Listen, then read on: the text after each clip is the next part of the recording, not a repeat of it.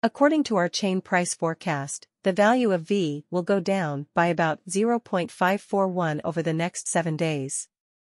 It is also expected to reach a value of 0.0194 A7 on November 11, 2023.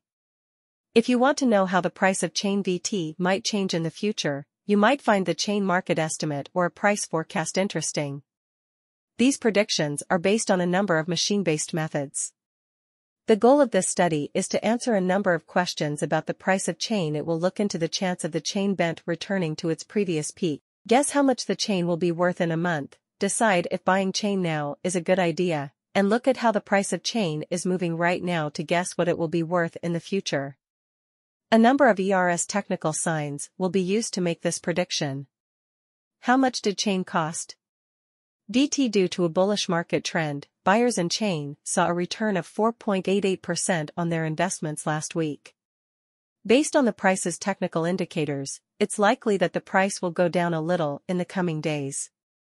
Here are the prices that people think chain will be worth in an hour, a day, a week, and a month from now. Chain refers to a decentralized chain that is often used in blockchain technology. The goal of this study is to look at the price history and complete market analysis of DT digital technology goods. The price of chain is 0.228 Bitcoin right now, and it is ranked 37th out of all cryptocurrencies. Chain, which is also known as chain, has a market value of 1B454M17412, and there are currently 72 B714M561834 coins in circulation. In the last 24 hours, the price of chain has gone up by 5.89%, and it has grown consistently over the past week, resulting in a gain of 4.88%.